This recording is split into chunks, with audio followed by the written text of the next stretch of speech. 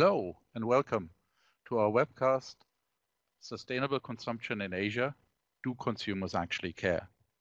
Before we get started, uh, I would like to uh, give you a few um, guidance on how to interact with us because we we hope that we have an engaged discussion and uh, you can ask questions at any point in time during this webcast and we will try uh, to answer them uh, in, in the flow of the conversation.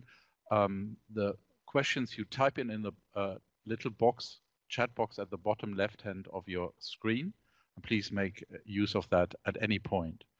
Uh, the presentation you will see today, uh, you can download in the middle box. And um, and if at any point in time during this webcast you would like to look at a, a screen in full screen, on the top right, you see uh, four arrows. Uh, if you click on them, uh, the uh, picture will move into full screen. And uh, if you click on them again, you're back in, into this layout. Um, you will be able to share this uh, webcast with your colleagues because this is, session is being recorded and um, probably tomorrow or latest early next week, this will be available for download and streaming.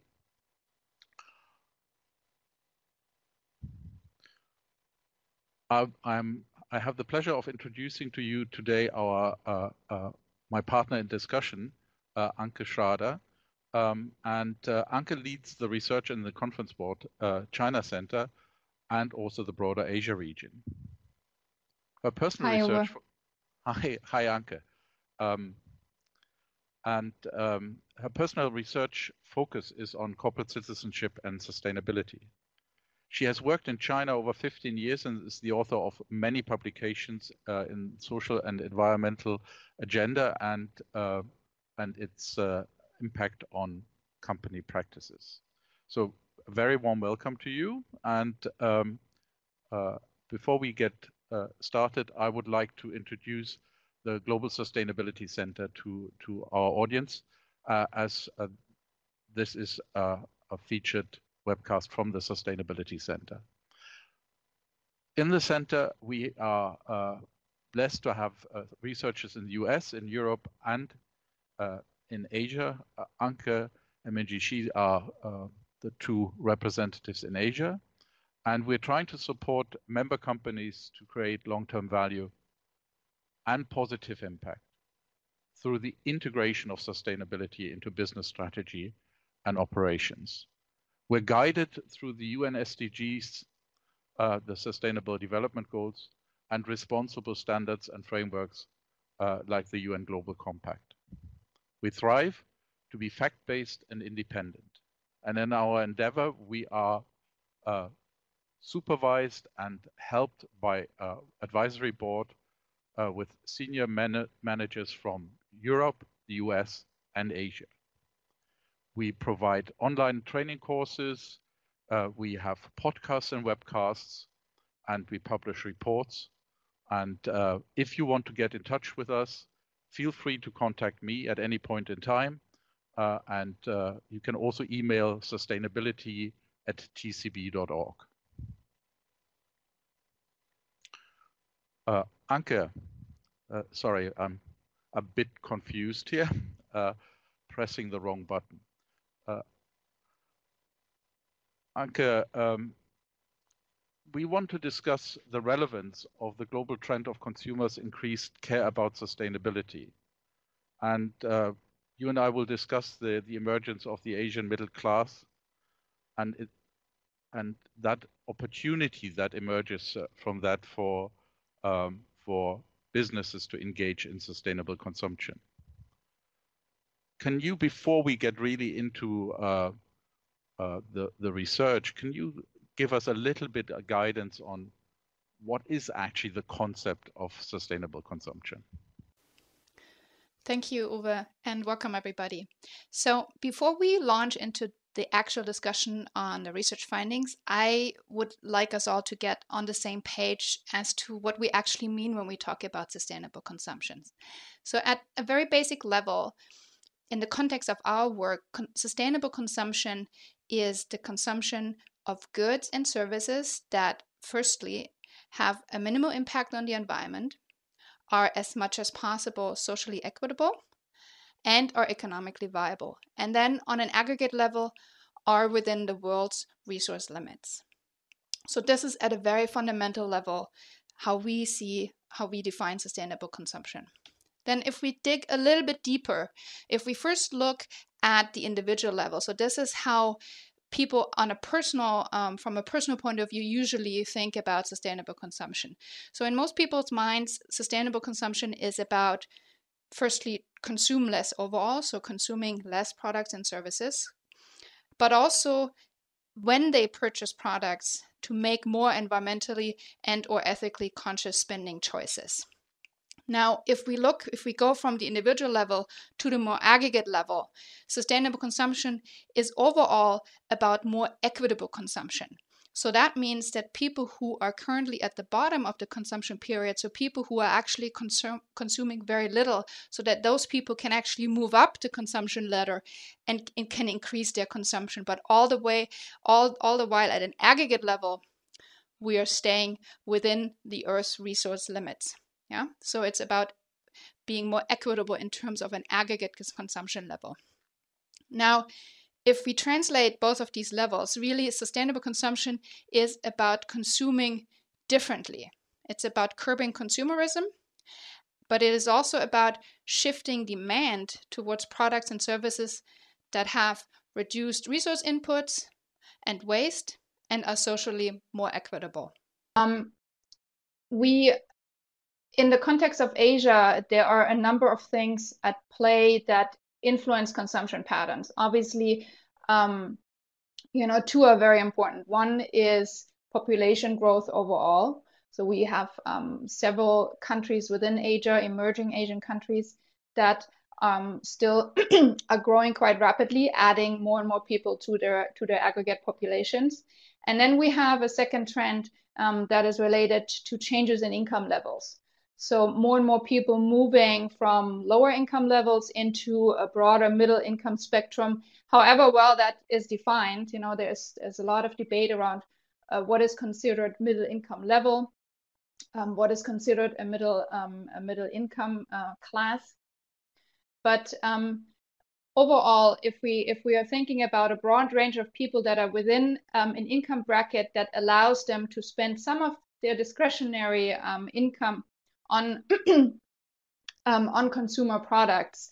Um, that segment is is growing very very rapidly in Asia. Obviously, COVID um, has thrown us off. Um, it's at this point in time, I think, impossible to predict um, how this is going to play out over the next uh, um, you know few years. But looking at historical trends as, as kind of a sort of a baseline scenario for us here in this discussion, we can see that when we look at um, changes in, um, in uh, middle class populations um, glo globally, then you can see that compared 2018 and 2030, um, we can see here that the middle class is the one segment that is going to grow the quickest over the next decade.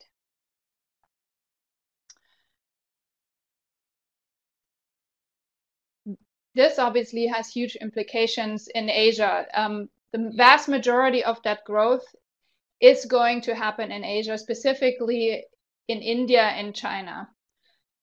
So, nine out of 10 people who are moving into the global middle class over the next um, decade or so will be residing in Asia. On top of that, the middle income households really are the ones that account for the largest share of global consumption, and they're also the fastest growing consumer segment overall. Um, so when we think about this shift in terms of income levels and then associated consumer spending, what is really going to happen in Asia is a shift in spending behavior from consumption um, that is driven by need, so satisfying, you know, basic needs around food items, about you know other other aspects of life, um, to a consumption pattern that is driven by choice.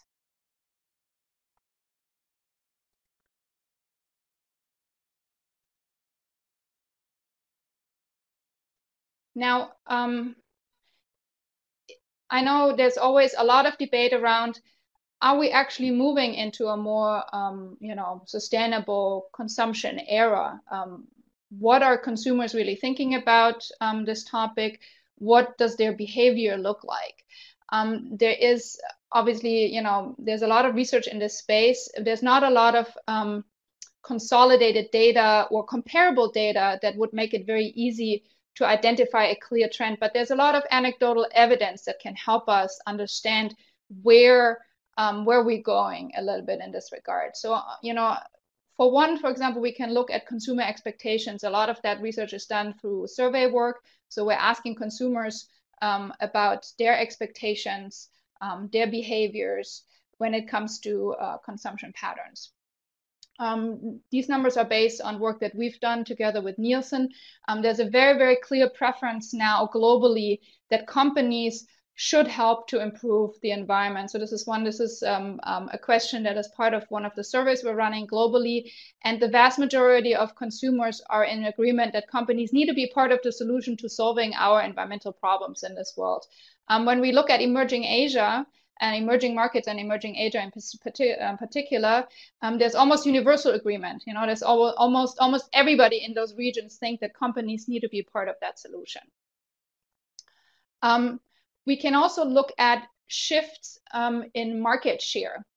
So, um, you know, when we look at certain markets like the US, we see that um, when we study certain segments like fast moving consumer goods, we see that there's very, very high growth compared to conventional products. So for example, in this, in this specific uh, instance, this was a study also done by Nielsen and um, it grouped sustainable, it grouped fast moving consumer goods in sustainable versus conventional products.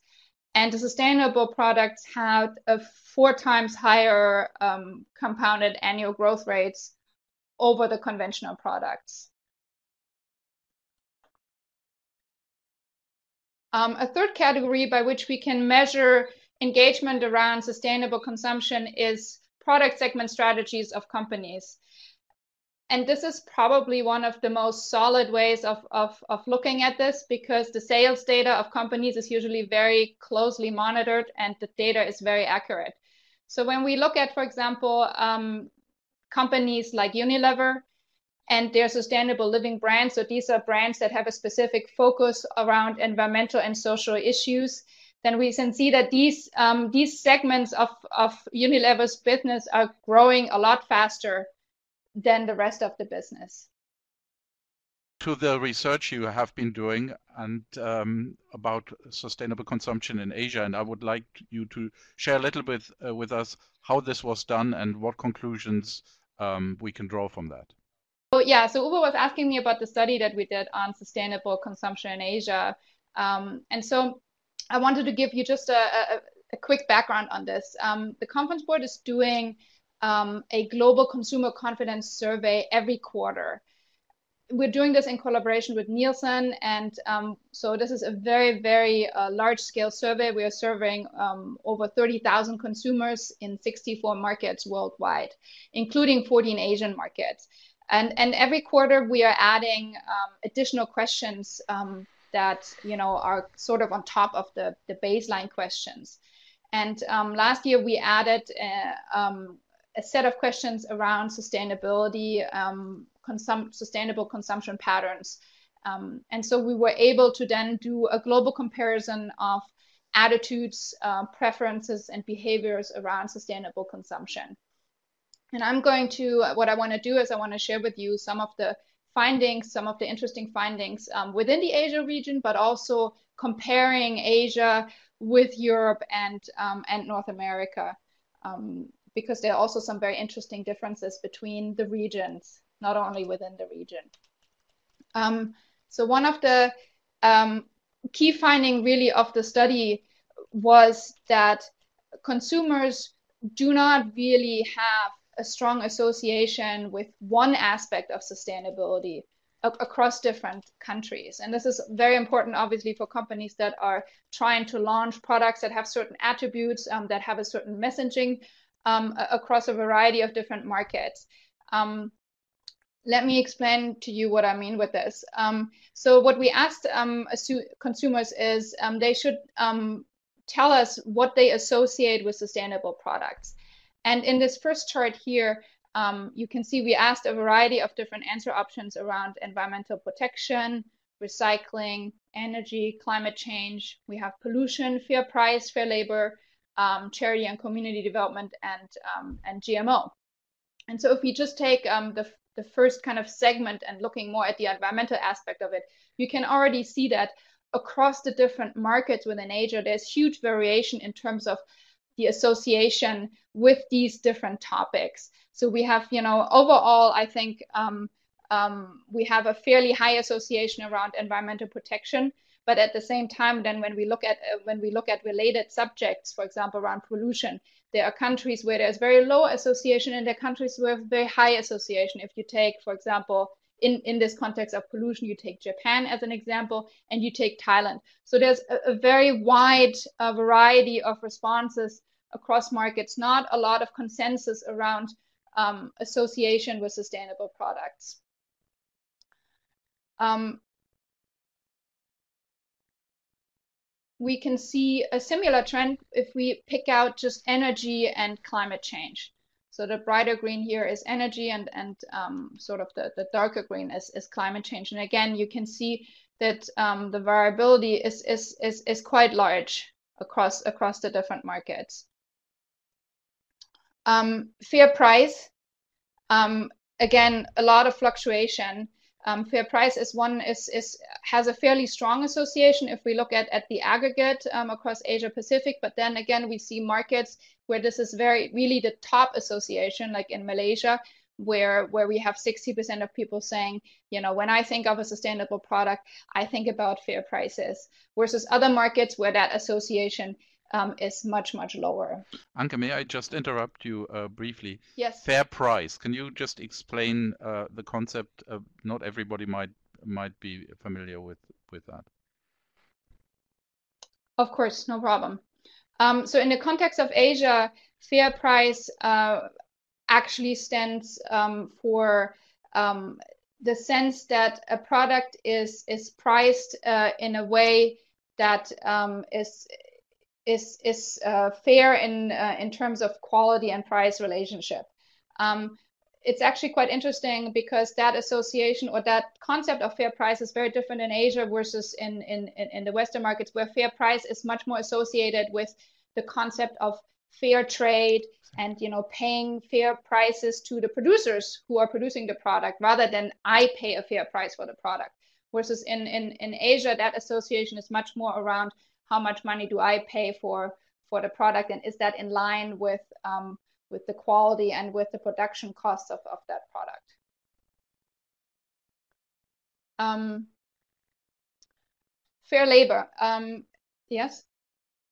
Um, it's, it's another very interesting one. Um, it's not as high as we might suspect um, we would think that in the Asian context, um, we would see higher rankings. It's, it's relatively low associated.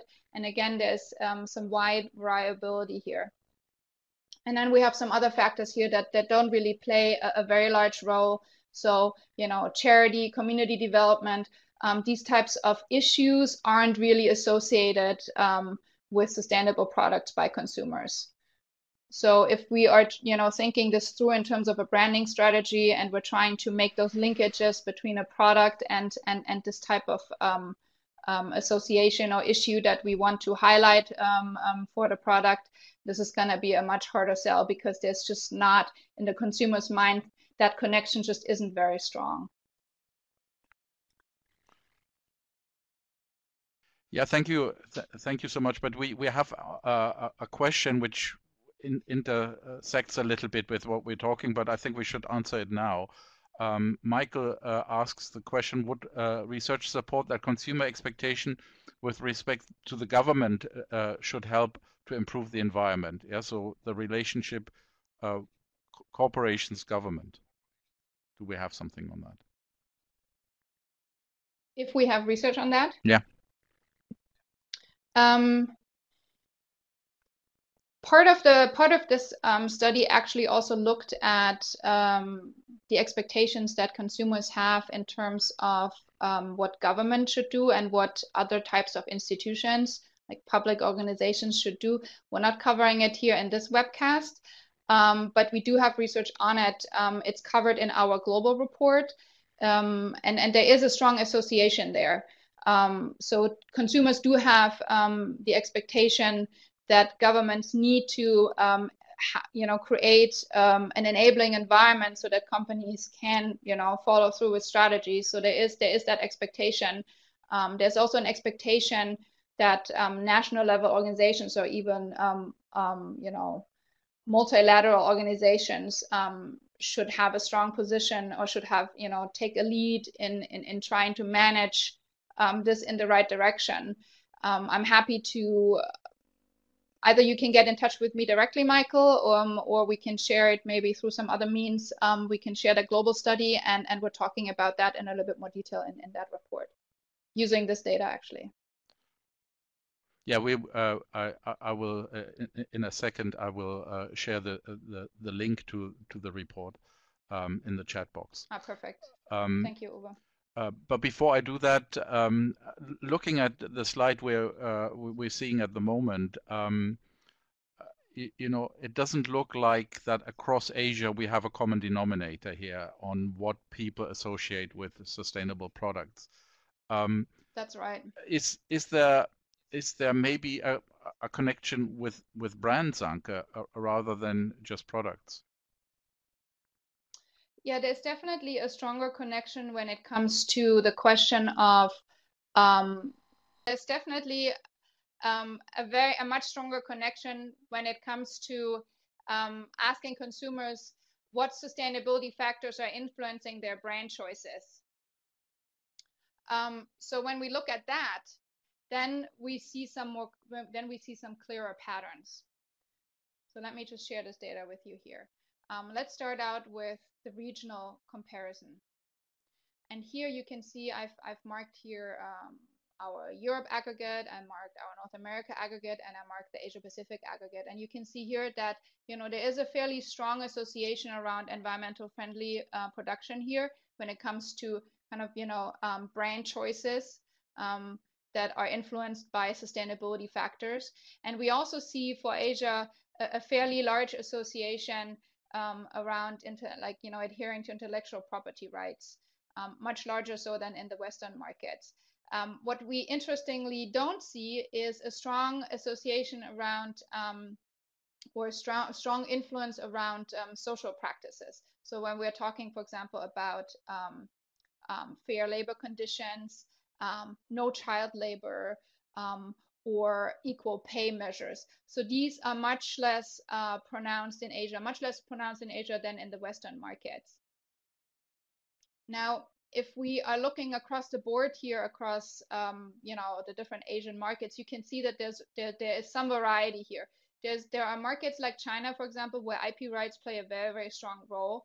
Um, and you know, on the other hand, in China, some uh, you know certain practices for example around the social practices or around like issues like child labor they virtually don't play a role at all.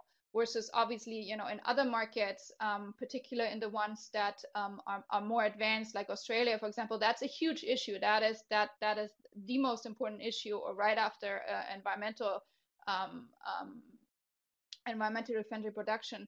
That is the biggest issue. So there are you know, again, there are a lot of discrepancies here. Not only are there differences regionally, so that you know the Asian, um, the Asian um, is sort of you know consumers here are influenced by very different um, um, attributes of sustainability, but also when they make brand choices, but also across the board within the markets, there is interestingly what we also see when we just think about brands that have better environmental practices. So, um, you know, when we ask consumers, okay, what are, you know, what keeps you from buying a product that you think has, you know, better environmental performance or, you know, the, um, the, the company that's producing the product is having better environmental practices, maybe as, you know, um, the company that competitive company that's producing a similar product. So when we look at these at these barriers, um, we, we see that actually price obviously does play a role. I think that's that's that's obvious. I mean, any study that we look at will tell us that um, that price considerations are always uh, one of the key factors. But actually, when we look at Asia, price plays um, much less of a role than it does in, for example, in in Europe or or in North America. So you can see that here at, at the bottom in the in the green shade green shaded areas that price actually is significantly less relevant across Asia than it is um, in the West. What is more important is, for example, considerations around. I said earlier that when it comes to, um, you know, kind of brand behavior or you know what types of what kind of uh, um, um, things people look at when they when they when they make purchasing decisions i said that um, um, you know kind of social issues and, and labor issues aren't aren't as strongly associated as you as you may think um, and so we, um, you know, another question that we ask people around barriers to buying sustainable brands is like, what about brands that um, or products that have um, um, that claim to have fair labor conditions or you know are paying fair wages? What what what are kind of the barriers that keep you from buying brands um, like that?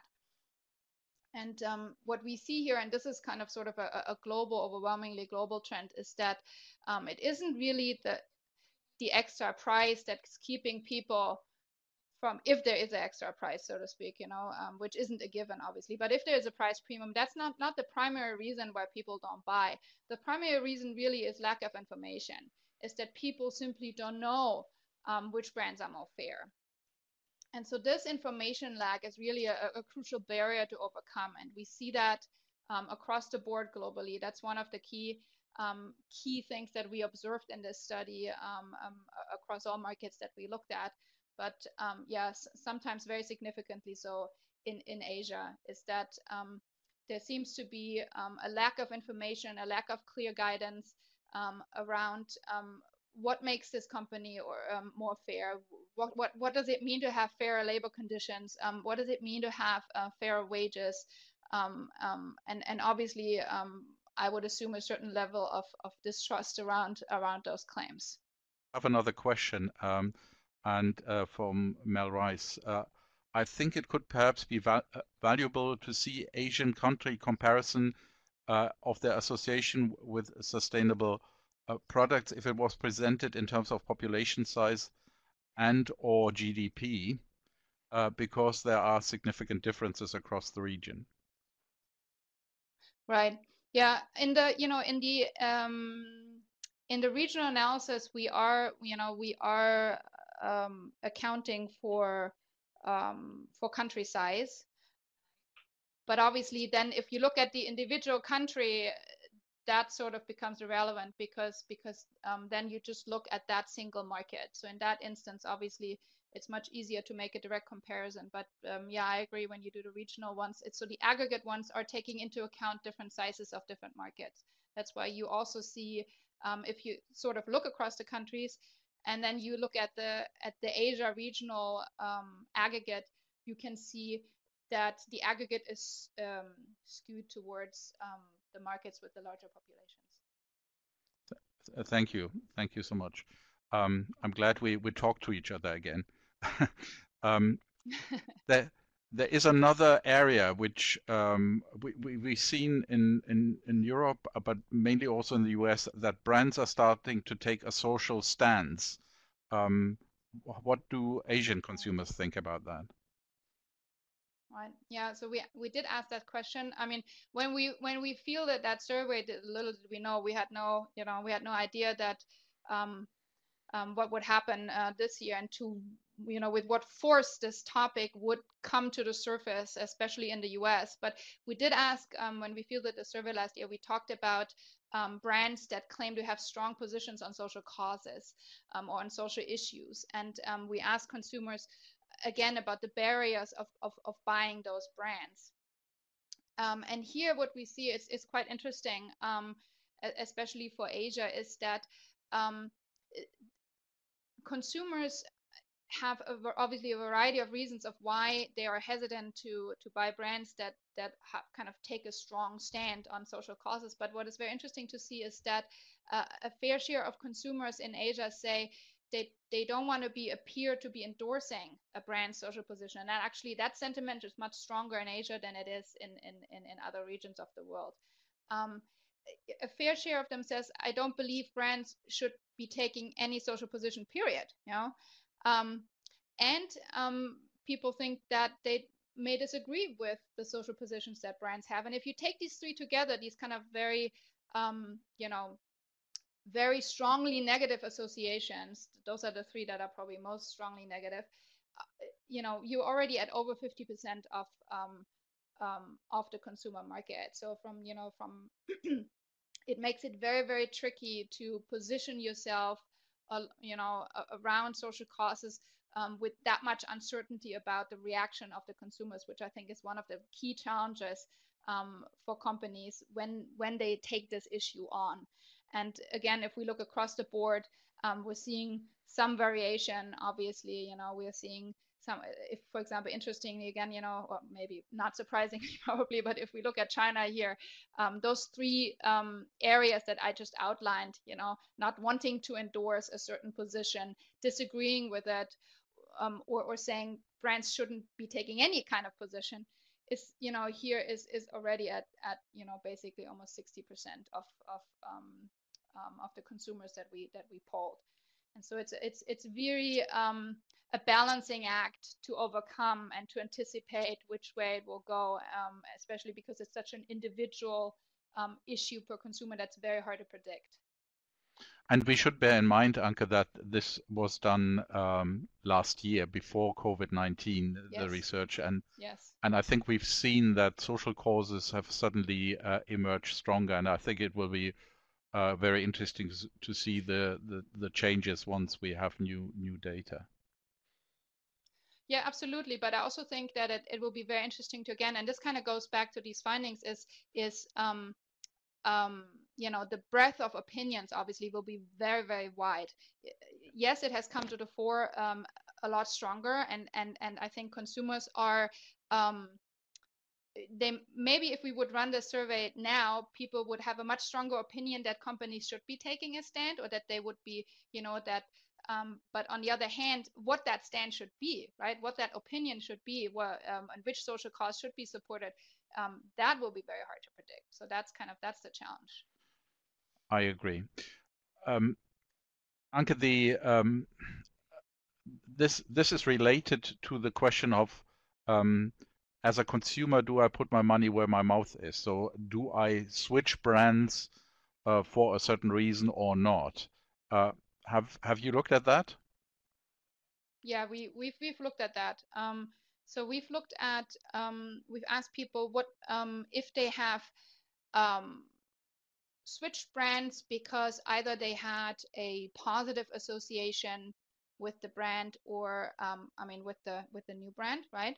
Um, they felt attracted by a certain attribute of that brand, or they have switched brands because um, they felt like um, that they were turned off by um, some kind of a attribute that the brand that they're currently using has, right? So either um, some kind of a, a positive association with a new brand and that makes them switch, or a negative association with the current brand that they're using and it makes them switch. So these were the questions that we that we ask, and it's um, um, it's very interesting um, to look at the results. So here on the left hand side, you can see um, the two questions that we polled around the answers that were given about consumers that have um, switched brands because they felt attracted by environmental practices of that new brand, right? Or because they felt attracted by certain social causes of, of that new brand. And you can see that um, um, the um, kind of the spread of the responses across the countries is very, very wide. So on the on the on the on the left, we have Thailand here and Vietnam um, and Indonesia, where almost everybody has at some point um, switched brands because um, they felt another another brand has um, um, a better uh, you know better environmental practices or are, are you know is supporting a social cause that they that they feel like should be supported right?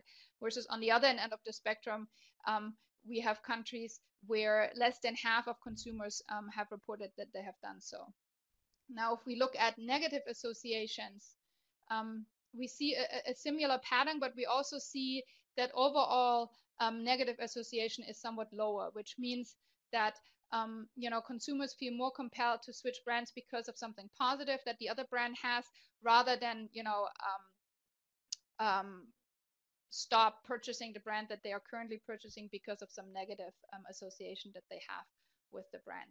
Now, if we make a regional comparison, it's also again very interesting to see here on the right hand side. I've, I've, I've sort of plotted the, the different regions that we looked at, and you can see that across the board for Asia, um, no matter if it's a if you know if they feel attracted by by something new or if they feel turned off by something that they currently have, um, both of these are higher than in any in any other region. So, you know, in conclusion, basically, consumers in Asia are more likely to switch a brand because of something positive that another brand is doing, and they're also more likely to switch the brand because of something negative that that that the brand that they're currently using, um, um, some kind of attribute that this brand has. Um, so it so this can be a good thing, obviously. it can also be a bad thing. Um, but anyway, so switching behavior is much more frequent and much more common in Asia than it is in Western market.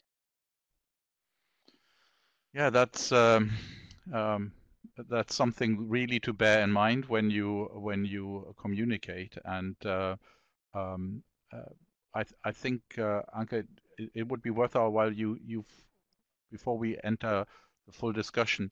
Um, uh, you you scoped out a, quite a few different aspects. Uh, maybe it's worth our while to summarize um, uh, what what you conclude from your findings. Yeah, yeah. I, I've done, I've done that here on the on the next slide. I've sort of um, outlined our key takeaways from all this. Um, so when we started out the discussion, we were talking about how consumers define a sustainable product, right? This was one of the very first basic questions that we that we asked. Well, what do you think is a sustainable product, right? And what do you think? What what kind of you know issues come to mind when you think about a sustainable product? And we've we found that there's really not a common definition of a sustainable uh, sustainable product across the region. So every country has very different focuses, has has different associations, um, and so it's gonna it's gonna take a very differentiated type of approach and strategy um, to to make that work in the local markets. Um, secondly, we found that when it comes to choosing brands, um, eco-friendliness definitely, you know, and, and all the kind of things that are associated with eco-friendliness as a broad topic does resonate most broadly with with with consumers.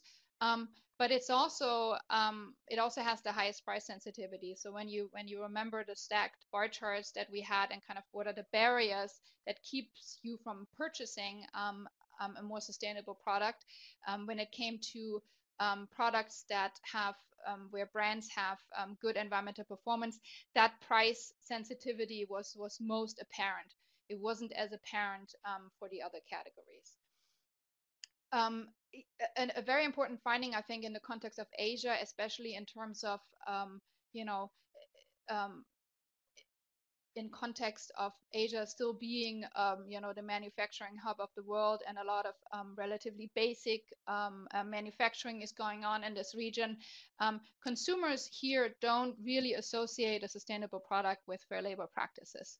Um, so if this is kind of the selling point of, of a brand, um, it's going to take some strategizing uh, to, to kind of edge that out and why that is important and convey that in the right way to, to consumers because that's not top of mind when people think about sustainability and it, from a consumer point of view.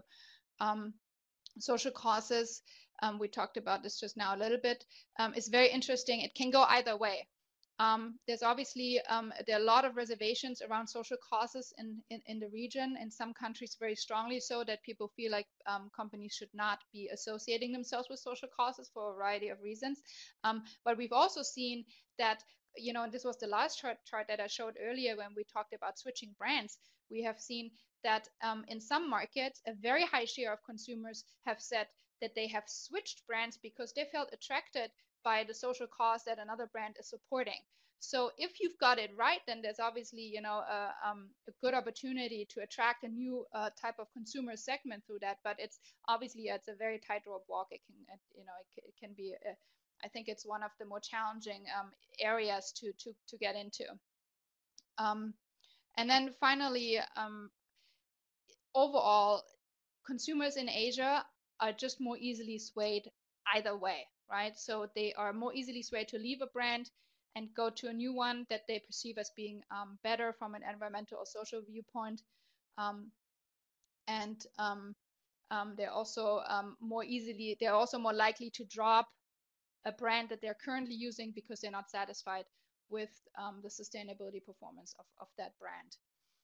And again you know if if if if you're a brand that is excelling at that that can be a huge opportunity because obviously brand loyalty is not as high but it also it creates huge challenges because if you don't get it right you will see you know potentially see a, a larger share of consumers jump ship more quickly and more easily than in, in than in other regions thank thank you Anke that, that that's very clear. Um, and and th th thank you for for sharing all that research with us.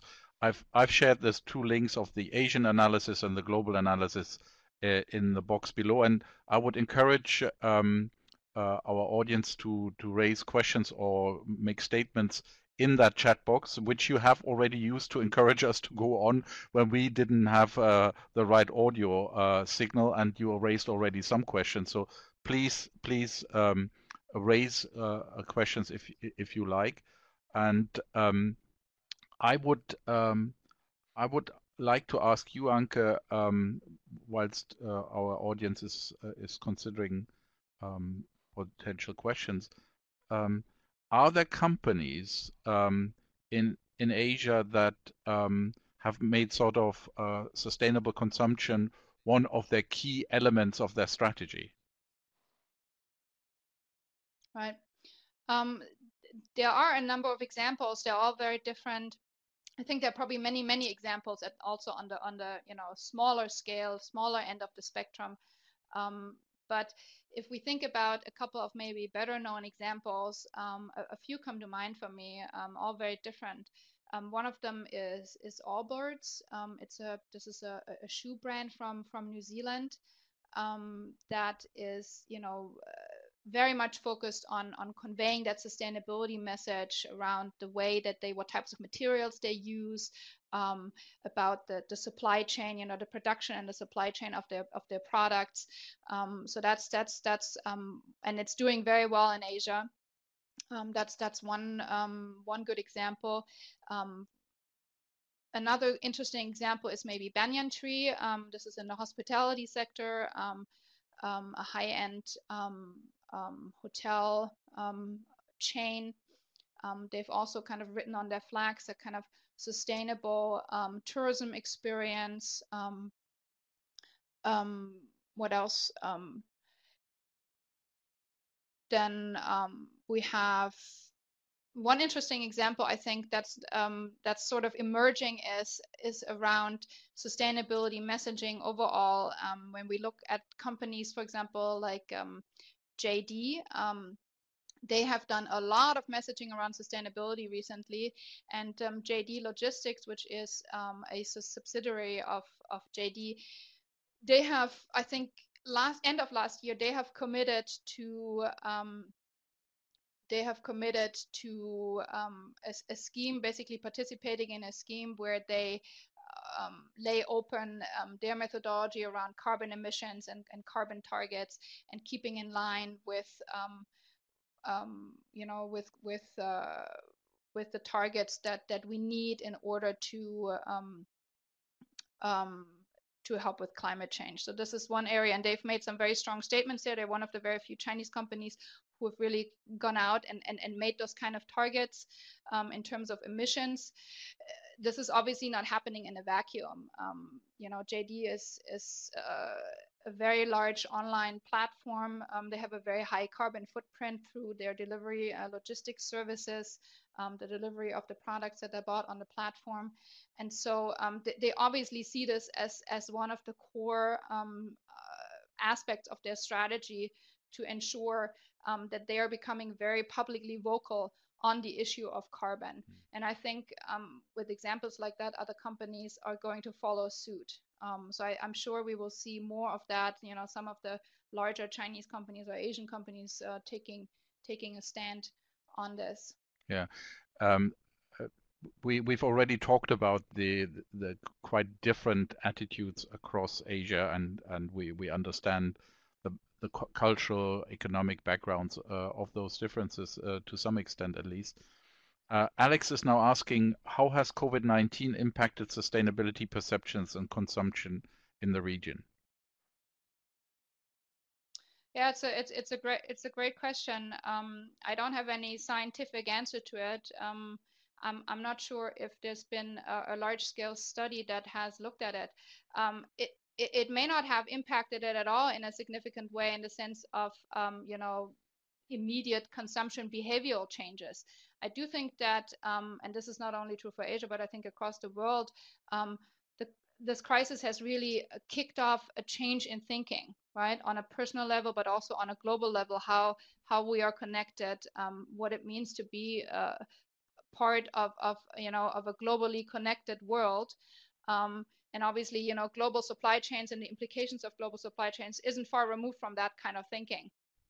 And um, so I think on that level, um, on that personal level, um, the ideas around um, what does it mean to remain sustainable, what does it mean for our world to to to to remain um, intact, have become um, kind of sort of bubble to the surface a lot more than they have before. Um, at the same time, obviously, we have an opposing force, and we have you know we have um, economic in some parts massive economic challenges on a personal level in terms of income reductions and job losses. And obviously you know um, this uh, changes consumption behavior again in many in many ways. And this is also true for for china. Um, a lot of the um, sustainable brands are still in a fairly high highly priced segment segment. Um, and so when we're thinking about um, negative impact on income and therefore the ability to spend, then we would expect that we're also seeing um, consumers making choices to cut down on the higher, you know, how higher priced items.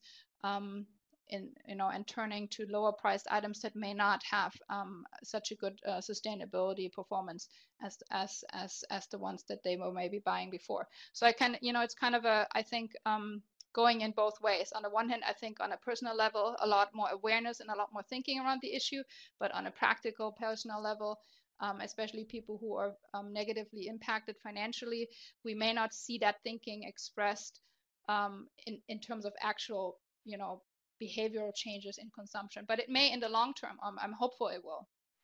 Um, Pike is asking another question, Anke, and it's about um, mm-hmm. do you have any insights on sustainability perceptions and consumption depending on age?